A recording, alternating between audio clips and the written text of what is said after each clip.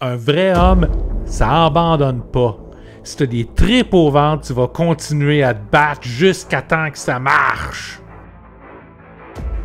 Ne jamais abandonner est probablement un des pires conseils que quelqu'un vous a jamais donné. Des fois, c'est des expériences qu'on essaie, qu'on s'aperçoit que c'est pas la bonne chose. Des fois, c'est pour ça qu'on n'est pas au bon endroit. Des fois, la vie fait en sorte que continuer, ce serait juste dommageable. Ben, faut savoir quand dire OK, c'est assez. La, la- la société nous matraque à l'idée de terminer ce qu'on commence. Hey, mange toute ton assiette. Juste ça, là. Je suis pas gros pour rien. Je- ben voyons donc. Je, je- je caresse encore plein de projets que je sais que je vais avoir beaucoup de plaisir à commencer et beaucoup de plaisir à abandonner aussi.